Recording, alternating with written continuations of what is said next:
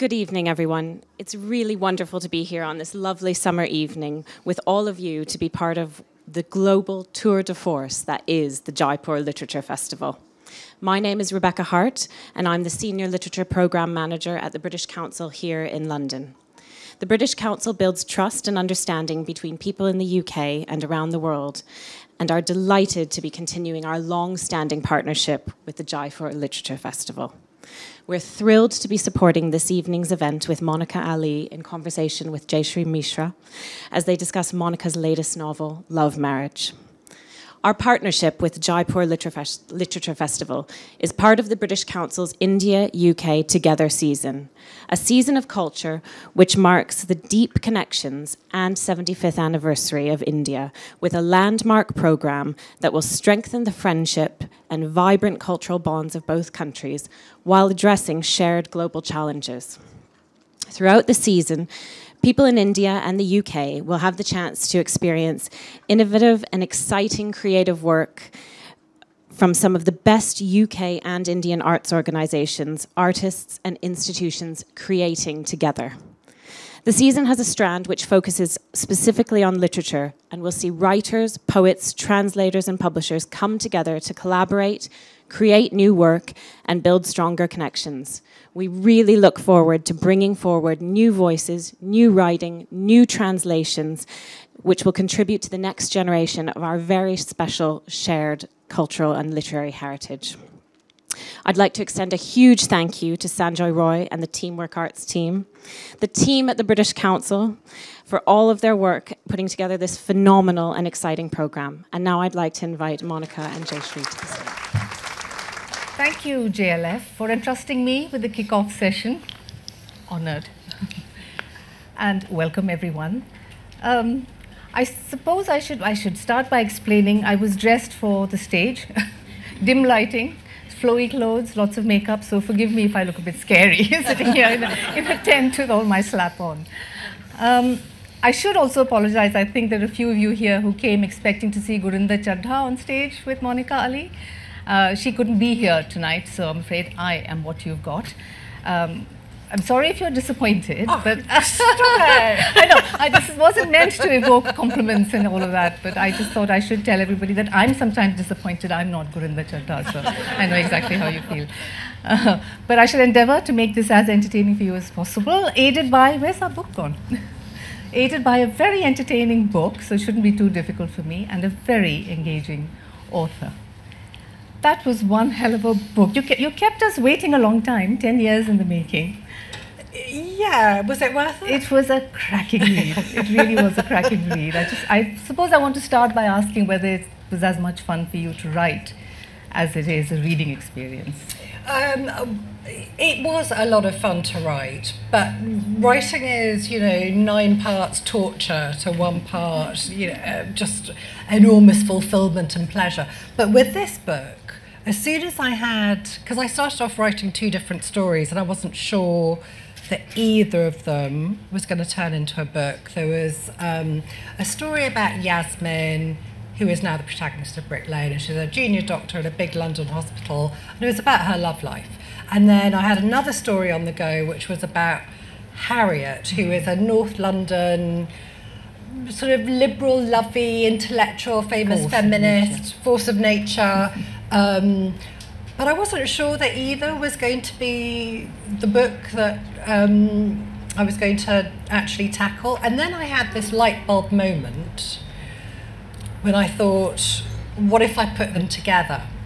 And writing is, you know, 99% perspiration and 1% inspiration. And this was, you know, the 1%. As soon as I thought that, I thought it's going to be a lot of fun to write. And I knew that it was the book that I had to write it's quite it's very funny especially in the beginning it's it's it's, it's sort of starts off a bit like a typical comedy of manners. Mm-hmm. and it's very tempting to imagine the author guffawing and laughing. I used to imagine pg Wodehouse doing this tears running down his face as he's busy writing. He wouldn't have used a keyboard in his time. But comedy can take a lot of hard graft as well isn't it? It's it's it's about getting the timing absolutely right and getting it spot on. So yes. I couldn't figure it out because it was such fun the first few pages, after which it starts to get, it starts to tackle more of the the serious issues and it deepens in different ways. So Yeah. it changed tone slightly, I think. Yeah, I mean, I hope that the the, the um, comedy or the humour, let's say, I prefer humour, I think, to To comedy, you're right. But it's- but I, I hope that the humour doesn't disappear. But you're right, it deals with a lot of. Um, difficult shit because that you know life throws that at us and i think with humor it's possible to sort of see all our folly and frailty and human striving and ridiculousness and just hold it with compassion so that's you know that's what i try to do That, that was, I think, what I was trying to get at is how much of that is, is hard work and, as you say, perspiration, and hmm. how much of it is just your way of looking at the world. Because a lot of, like you said, very difficult issues are tackled quite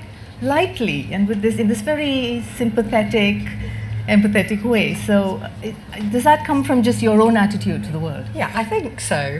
I think so. Well, you- you're- um, which isn't to say that it's not hard work writing, but I think yeah, I, I, absolutely that that is my way of um, coping with the world. Yeah. Well, there would be people here who wouldn't have read the book. So I think should we start with a little reading, and, and that will give you a glimpse into what I'm trying to say about the, the, the humor that you kind of experienced. I'd say virtually from page one. it sort of hits you right there. Shall I read now? Yes, please. You've chosen your passage. So I'll, I'll just read for what forty-five minutes. Good, Close the doors. Make there's it no a lot doors. easier for both of us. No. there are some Eastern European countries where you have to read for like two hours. In Germany as well, you have to do that. Don't worry, um, two, three minutes. Be fine.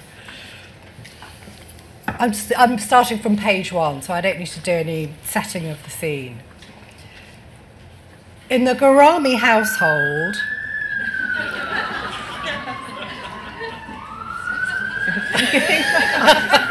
It's like a stage play, isn't it? The Ghorami household has arrived. All right. In the Ghorami household, sex was never mentioned. If the television was on and a kissing with tongue scene threatened the chaste and cardamom scented home, it was swiftly terminated by a flick of the black box. When Yasmin began her first period, her mother had slipped her a pack of Kotex maxi pads and murmured instructions not to touch the Quran. This was confusing because Yasmin never touched the Quran anyway, except at the behest of her mother. But it also made sense because menstruation, as she had learned in a biology class, was linked to reproduction. And the dotted line diagrams in the textbook were, surprisingly yet undeniably, linked to the actors who pushed their tongues into each other's mouths, thus ruining everyone's viewing pleasure. Now, at the age of 26, Yasmin knew all about sex. The human body had long since yielded its mysteries. She had slept with three men and was engaged to be married to the third, Joe, a fellow doctor at St Barnabas Hospital. Her parents, Shaokat and Anisha, liked Joe because as a doctor, he was automatically suitable. And because everyone liked Joe, he was gifted that way. If Anisha longed for her daughter to marry a good Muslim boy, it was an opinion she kept to herself. Yasmin sat cross legged on her bed, surrounded by medical texts, waiting to be called down for dinner. She should have been studying for yet another exam, but couldn't concentrate. Four books lay open to demonstrate a commitment that she was unable to put into effect. Instead, she leafed through a magazine she'd found discarded on the train. When tomorrow night was over, she'd laugh at herself. It wouldn't be as bad as she imagined. Her parents would meet Joe's mother for the first time. They'd all eat dinner together at her house in Primrose Hill and discuss wedding plans and make polite conversation. Big deal. The thought of her parents inside that discreetly sumptuous Georgian terrace induced a faint feeling of nausea. She swallowed it down. Nothing embarrassing would happen. Fretting like this was stupid. The bedroom door opened and Arif slid in. That is some bush, he said, shaking his head. She slipped the magazine under a book. Out, she said, I'm working. His words slowly infiltrated. Out, she said again. Arif closed the door and leaned his boneless, insolent body against it. You know about it, yeah? The picture? Like I was telling you, every article about it goes on about it, but I had to dig bare deep to find it. Want to see Appa? He pulled his phone out of his jeans. Yasmin had decided she wouldn't react, no matter what provocations her maladjusted little brother attempted. In spite of herself, she recoiled, shrinking back on the bed as Arif brandished the phone. The last thing in the world she wanted to see was Harriet Sangster's private parts. She wondered, not for the first time, if Joe had seen the infamous photo of his mother, naked on her back with her legs split wide, head raised to stare, challenging and defiant, straight into the lens. It's a feminist photo, she said, and her voice remained even. It was decades ago. You wouldn't understand. Stick with your porn. Stick with your hairless porn.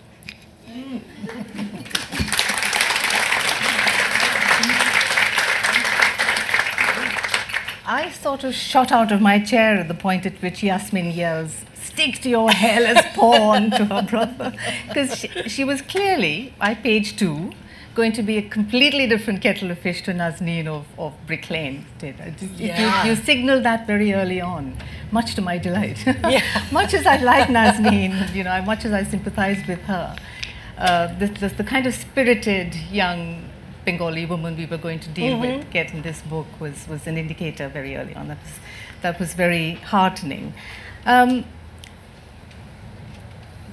I wanted to ask you about the um, the sort of slight sleight of hand you've employed in calling the book Love Marriage. Yeah. Because um, while there is a lot about love in it, not just romantic love, there's all kinds of love. And while there's a fabulous will they, won't they marriage story in it as well, um, essentially the book is about sex, isn't it?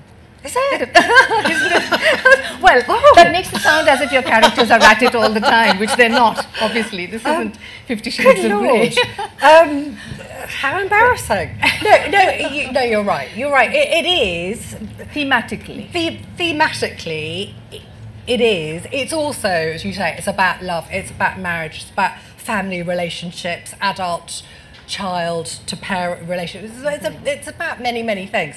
But the narrative backbone, as you have so astutely um, seen, and I think you know all readers do see it, but it, it, it's it's the the necklace on which all of the beads are threaded. So it's not. I mean, there are two sex scenes in the book. It is not Fifty Shades of Grey. You'll be really disappointed if you know if that's what you're signing up for. It's not like that at all. But it's mm. it's the thing uh, um, that many of the major plot points turn on. So whether that's infidelity, revenge sex, uh, sexual addiction, um, sexual violence, um, issues of sexual identity. Um, it's how the protagonists sort of wrestle with their um, own identities or mature into those identities. And even a really tricky incest narrative, which obviously, I mean, I'm very worried about spoilers because there are some really key turning points in the book that I would hate to give away. So I think I might ask you to, because I know in some of your interviews that I've watched, you do actually explain a little bit about the sex addiction yeah. storyline as well.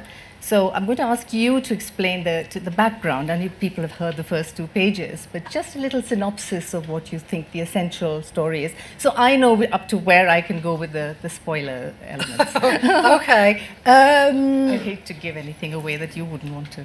So I won't say what happens in the end. No, certainly no, not. no, okay. Um, so, I mean, Yasmin, as we've just heard, is engaged to be married to this. I mean, he's he's a wonderful man. He's a fellow doctor. He's handsome. He's charming. He's rich. He's also really kind and caring and sensitive. Um, but then he does the unthinkable and he cheats on her.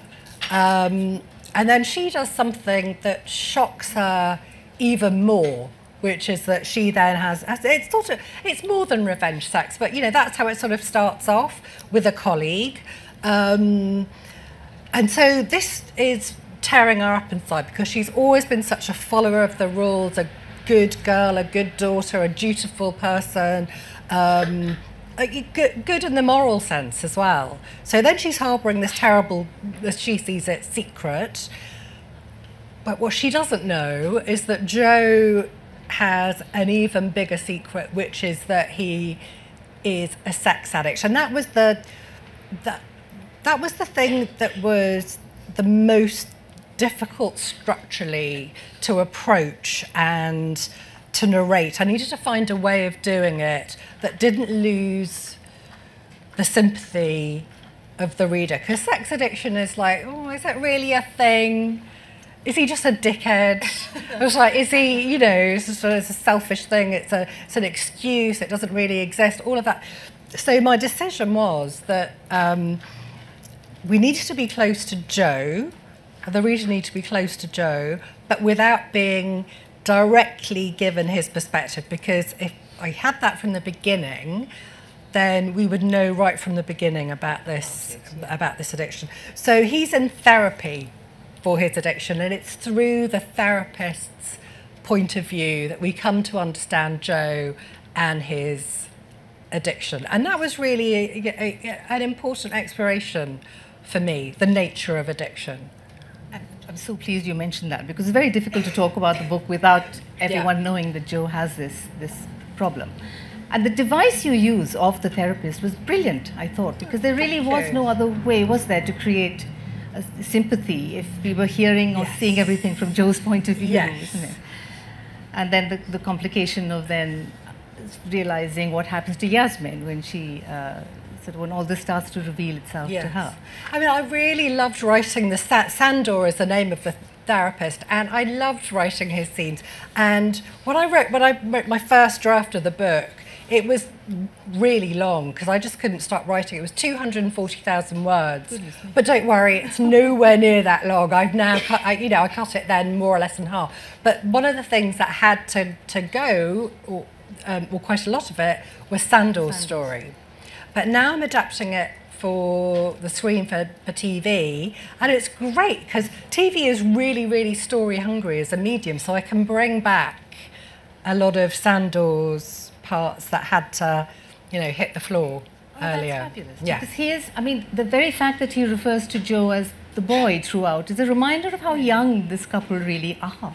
Yes. I mean, they're, they're trying to find their way through love and you know, marriage being the ultimate goal in their minds, and it's a, it's a tricky terrain yes. for them to traverse, isn't yeah. it?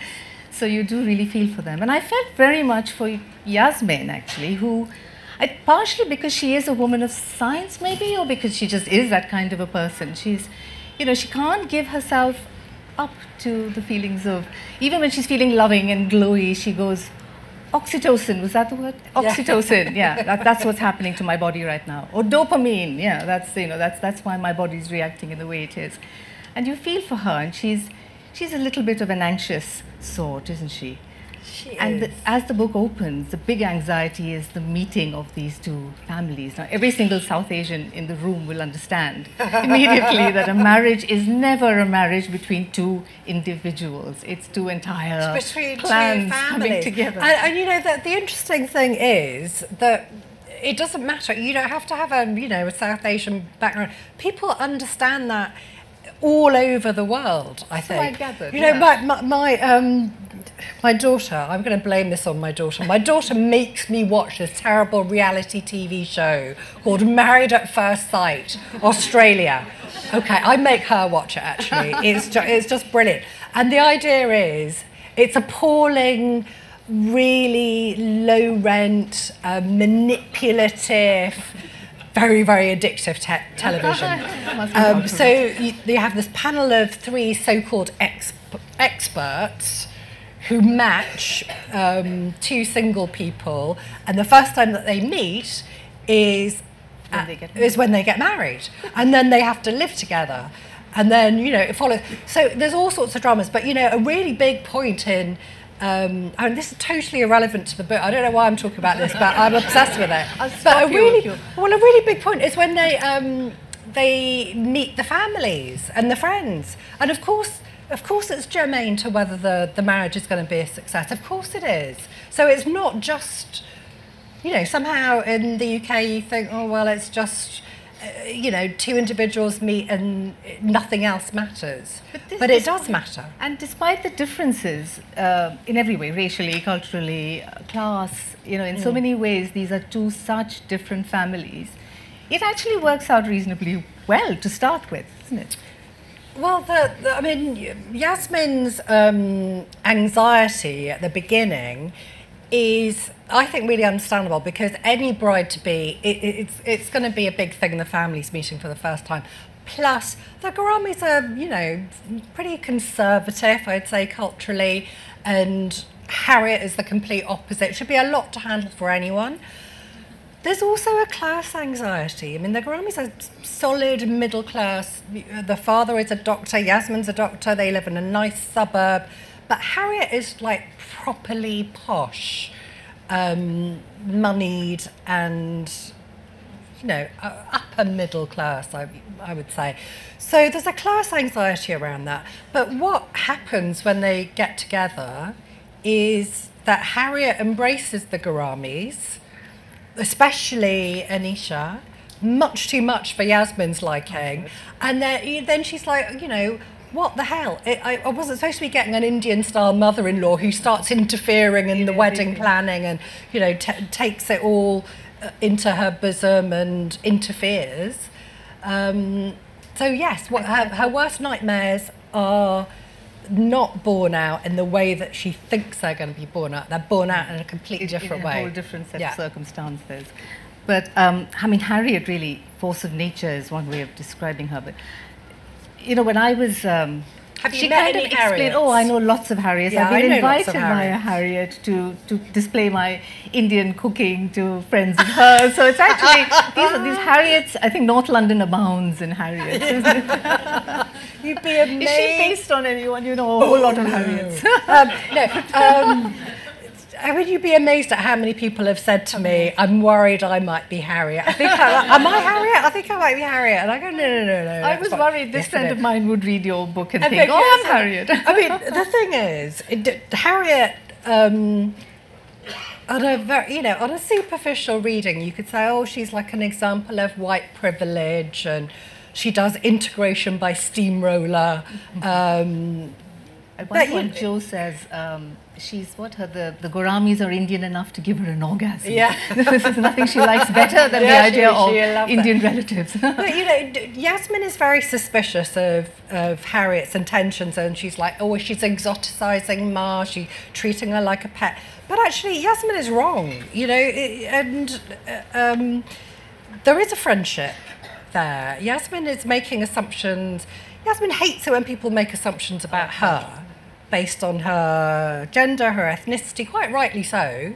But she's making assumptions about other people, left, right, and centre, including about Harriet, and she's not right about Harriet.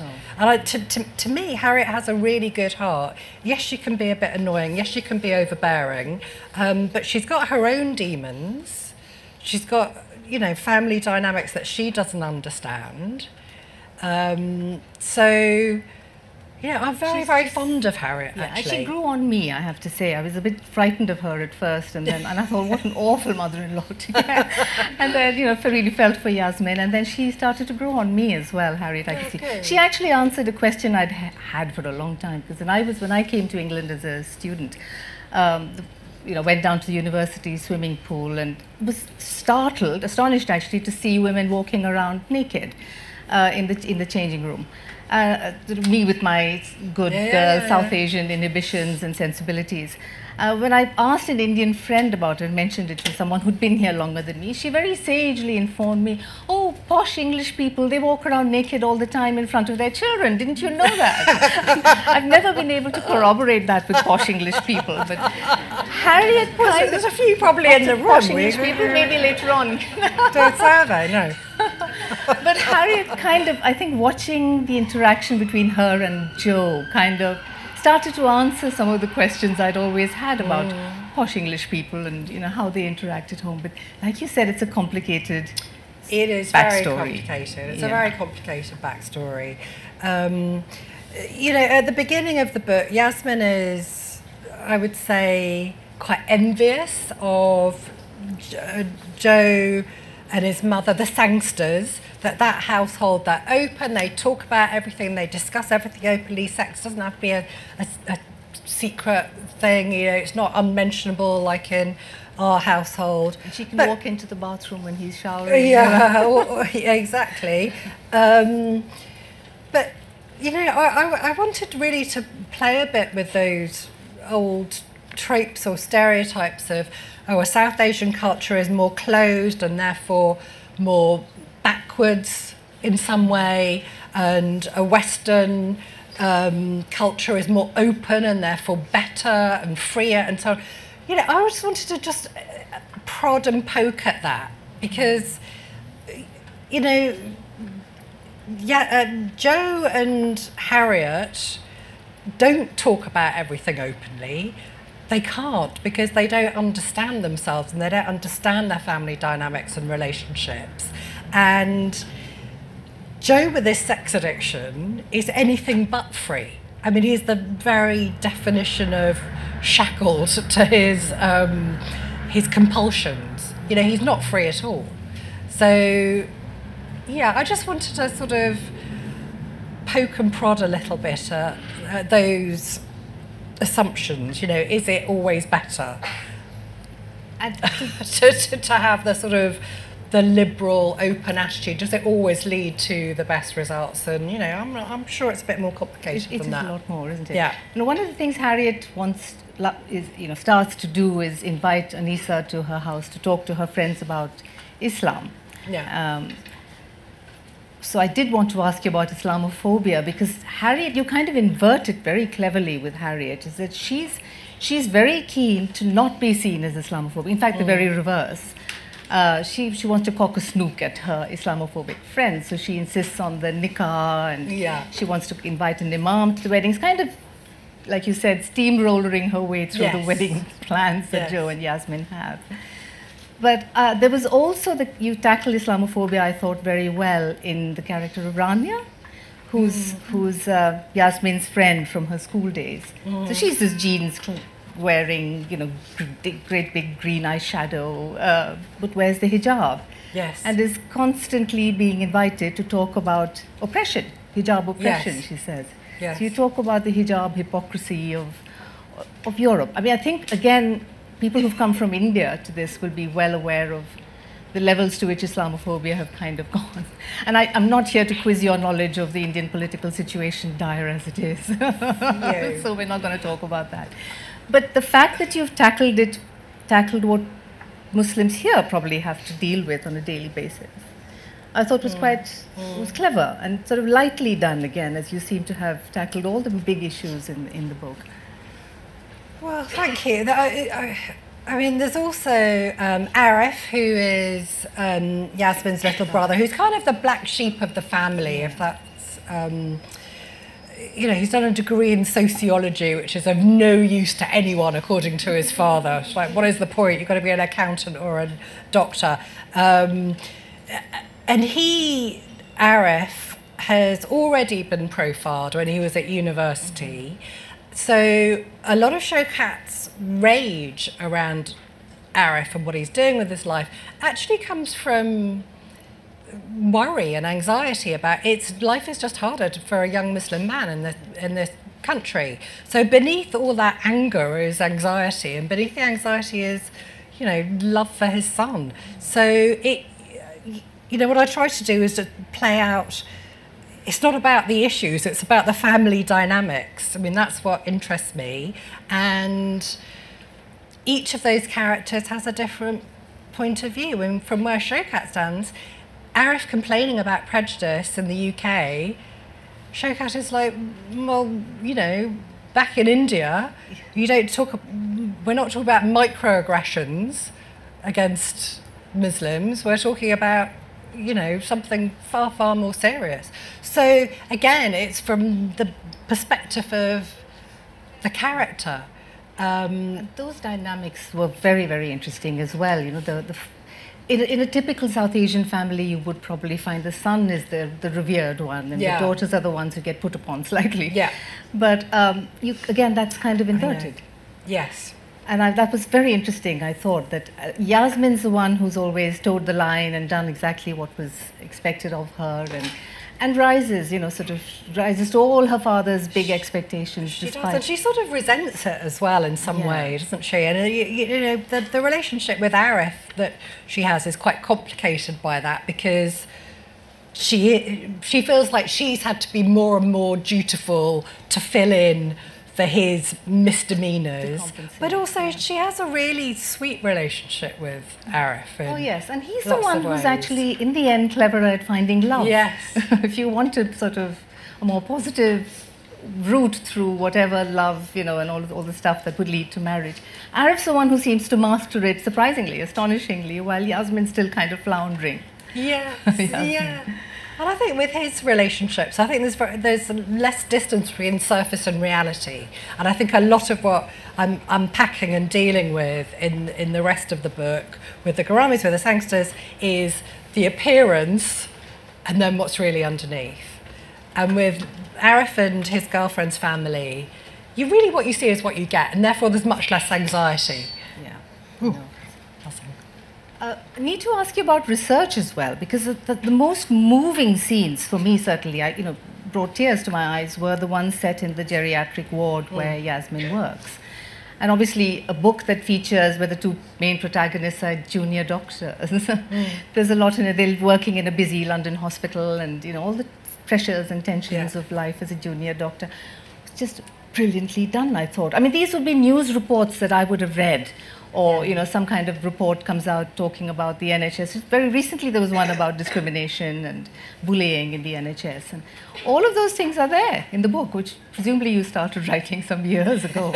anyway, Yes, yeah. so um, did what kind of research did you?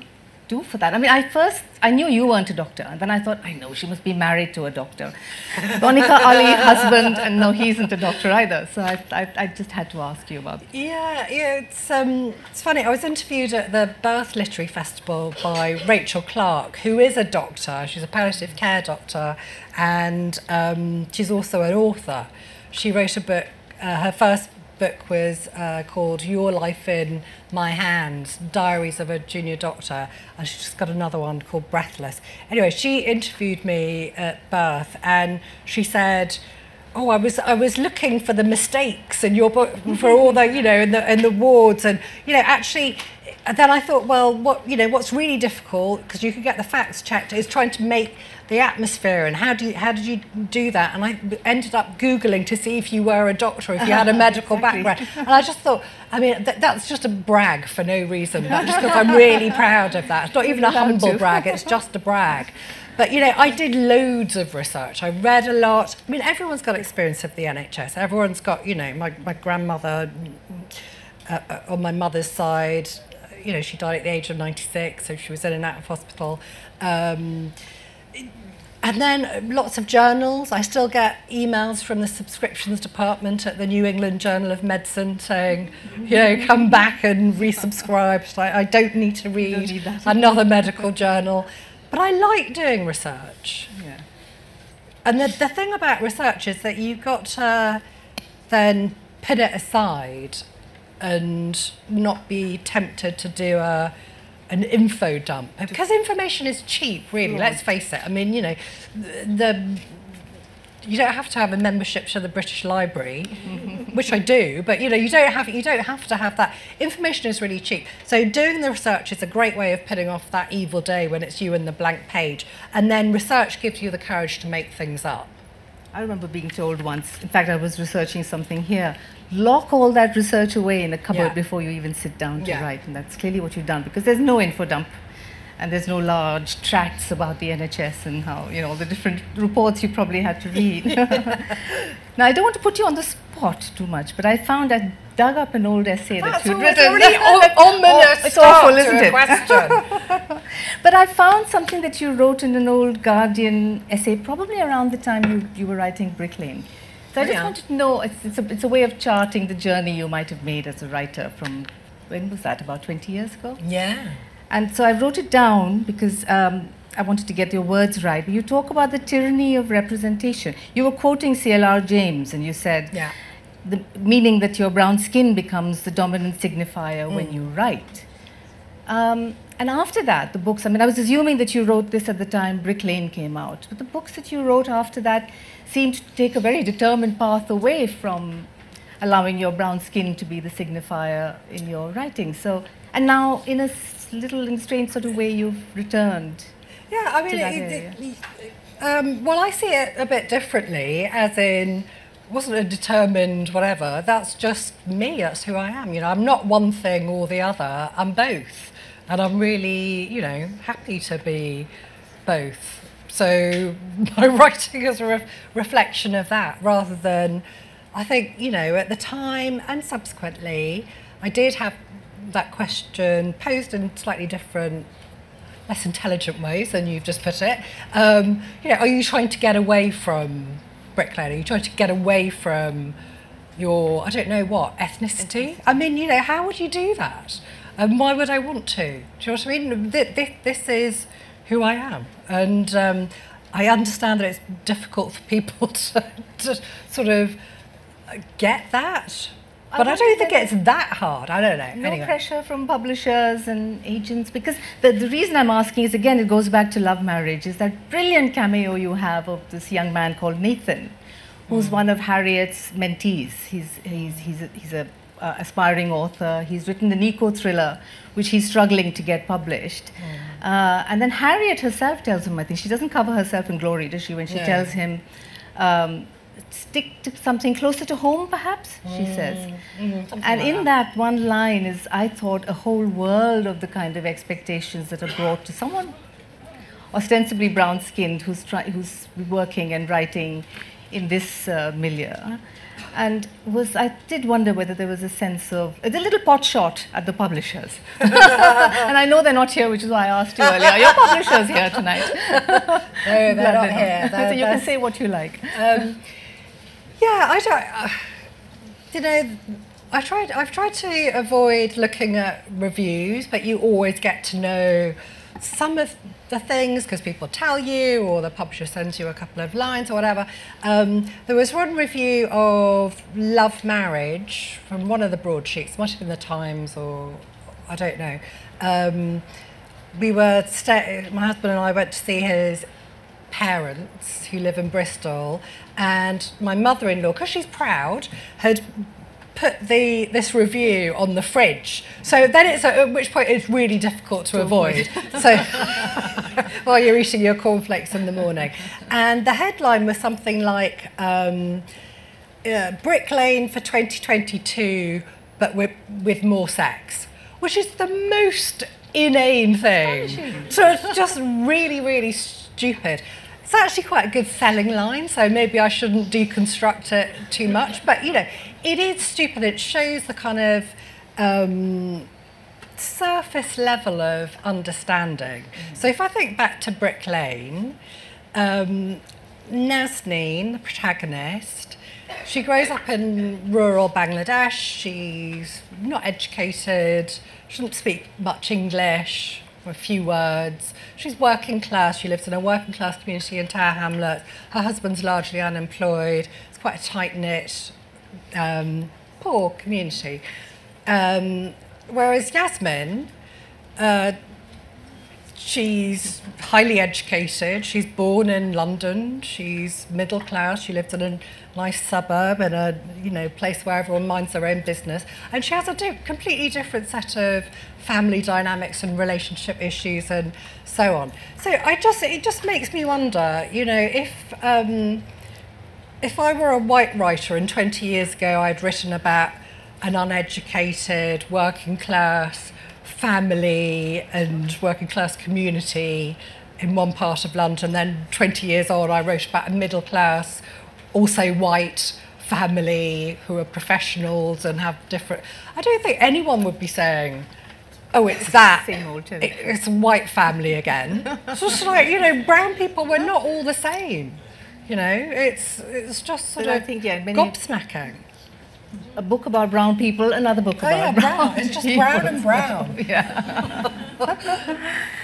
Um, I was wondering, do we have? Uh, Yeah, I've been told people gasping for their cocktails. Oh no, there is. Yeah. Okay, so the little a little time for audience Q and A. I've been instructed. Shut up. Any questions? So yeah, there's a roving microphone. If you put your hands up, and we'll. Uh, just making sure I covered everything I wanted to ask you.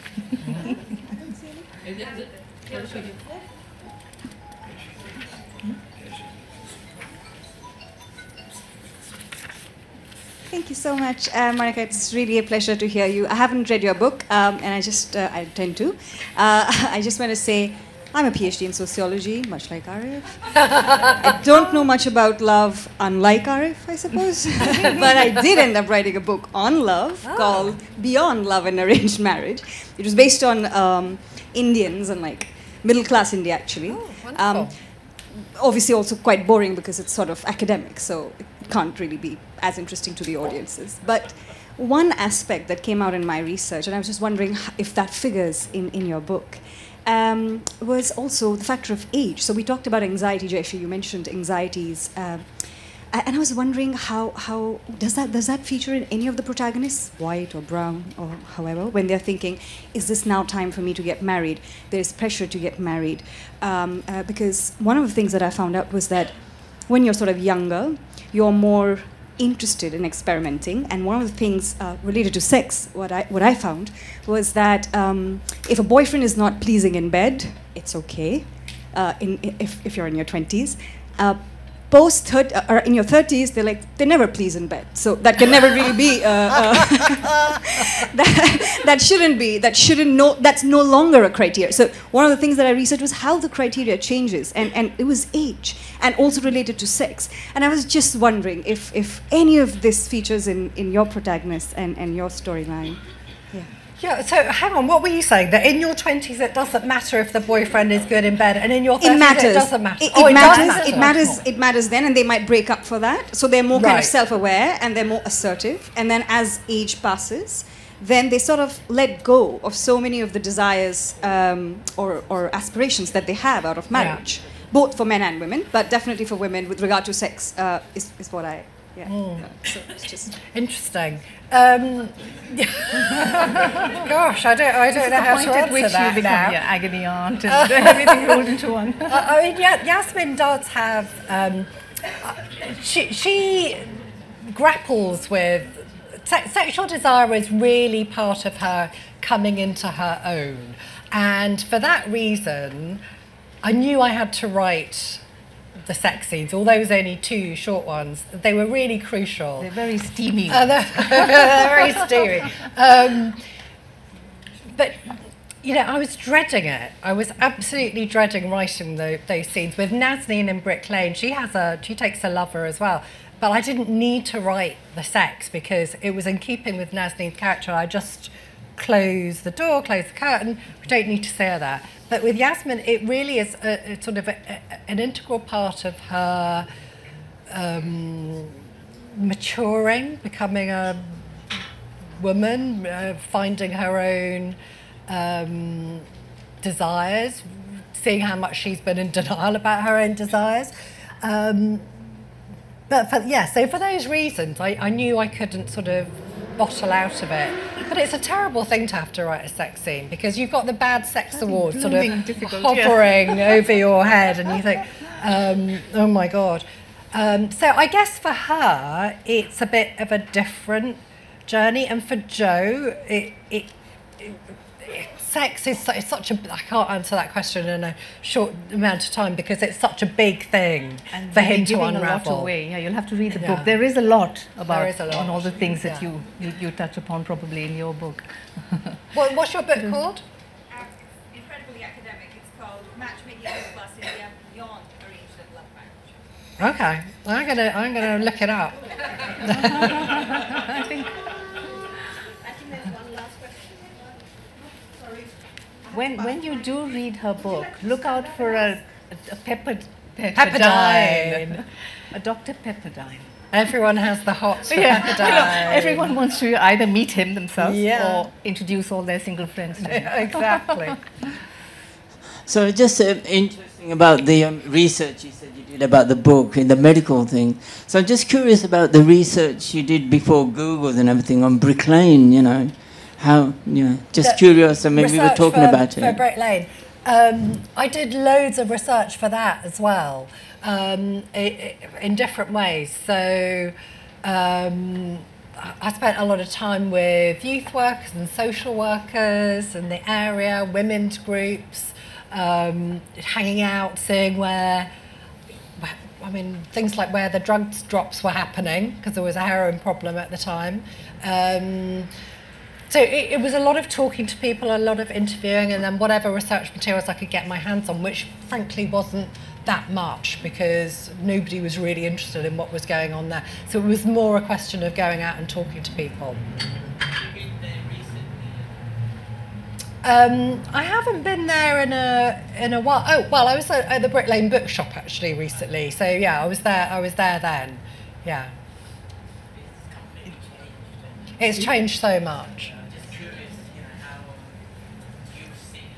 Could you use the mic, please? I think he's finished. Broadcasting. I, yeah, it, it did remind me actually of the protests that took place in Tower Hamlets when the filming of Brick Lane happened, and there were you know people. I mean, peop, Asians in particular, we complain a lot when we are not represented in the within the pages of books, and then when you are, you sort of up in arms, so it's caricature. and Germaine Greer we waded into that whole debate as well, which was just. I hope she's not here because everyone comes to JLF. And Germaine Greer might well be in the audience. But um, yeah, there's, you know, I, the- to me, the most beloved character in Brick Lane was Chanu. And I don't know whether they were talking about him being caricatured, because they said the Bengali male has been caricatured or something like that. And yeah, I so identified, it might sound curious to say, but I so identified with Chanu. Because like him, I came from India late in life. I came with an MA in English literature, rolled up in my suitcase, thought if I spouted Shakespeare at people, they would like me. and soon learnt my lessons. But Chanu never did. No, And I've no, so felt for him. Yeah, I mean, it, you know, it just it wasn't um, the case, however, that people with a Bangladeshi heritage in this country or around the world, because I went around the world with um, that book. It's not true that they didn't like it. There was a handful of Yeah. people that were older, conservative men who I think reading between the lines didn't like the fact that this young bride has a, an affair. Um, but you know, I, I was actually I used to be a patron of the the Clement Attlee Youth Centre, which is just behind Brick Lane, and I was doing a, a, something there for some media thing, and a photographer said, oh, I covered that protest for for the newspapers. But I had to get in very tight because there were only like a handful of protesters, and there were more media there than there were. So you know, it really wasn't a thing. But as soon as it's on the telly, or uh, which it was, it was on Yeah. like the BBC News and stuff. Then that's written into history, and that's you know, oh, that's the reaction from the community. It's just not true. That's all there was. It's So just that's not very true. reassuring. Because when you mentioned the TV adaptation of Love Marriage, I thought, can I see the Indian medical fraternity going up in arms? the depiction of Dr. Shaokat. Uh, I thought, well, no, not really. I can't see that happening. But I, is it time to wind up? Yes, people really do want their cocktails now. Wasn't so- there one more question, Shorika? I think, I think the lady wanted to. Last question. You're, you're very kind, and it's actually uh, related to your last uh, comments, which was um, do you think that race relations in this country have got better or worse between Brick Lane and love marriage? Oh gosh. Let's have a whole speech. Hang on, uh, isn't, it, isn't it time for cocktails? Blimey, I think, Joshua, would you like to answer I'd that certainly one? not like to answer that. It would, it would involve standing there and making a half-hour I, speech, and I'm I, not prepared. I, I think the thing is, it's complicated. I don't have a simple answer for that. That's why I write novels because I don't have to give. I don't have uh, um, a sort of position or a take or. I hate that sort of hot take mentality. I like complexity. I like layers. I like seeing both sides, and that's why I'm a novelist. and on that wonderful note.